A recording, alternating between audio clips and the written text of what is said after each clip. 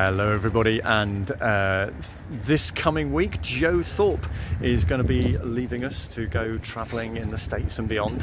And Joe, thank you for the last three and a half years of working with Hope into Action Houses, for learning uh, almost on the job sometimes. We didn't know maybe what we were doing as we started the franchise, but you've enabled three houses to come on board. You've enabled those families and those residents. We've seen people move on successfully. We've had to deal with some tricksy situations, and uh, you've done an amazing job of bringing the church teams on board as well. So we are hugely grateful for what you have done, and we wish you well as you travel. And we're really glad that Stephen has come on board as the new empowerment worker.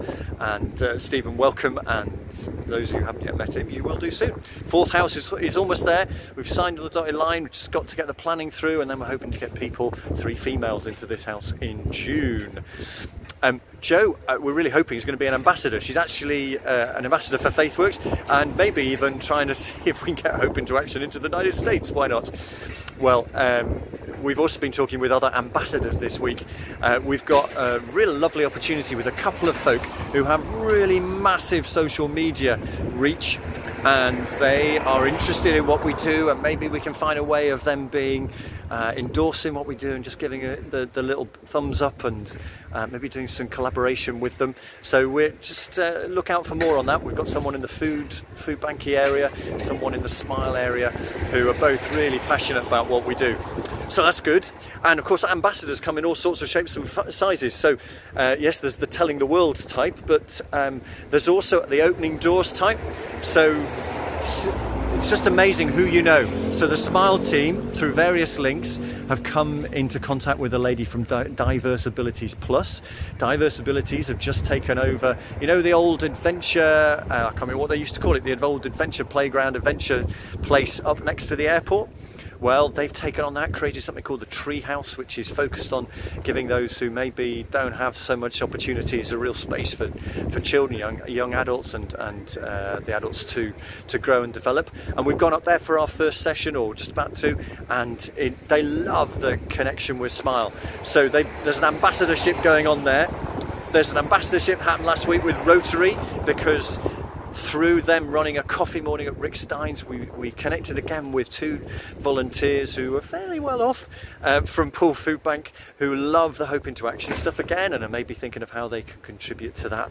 So ambassadors open doors and then you get um, ambassadors who multiply what we do. I'm always astonished at the relationship that Tracy and Sarah have, have created with Alistair Hoare and the folk at the Magdalen Trust in Christchurch.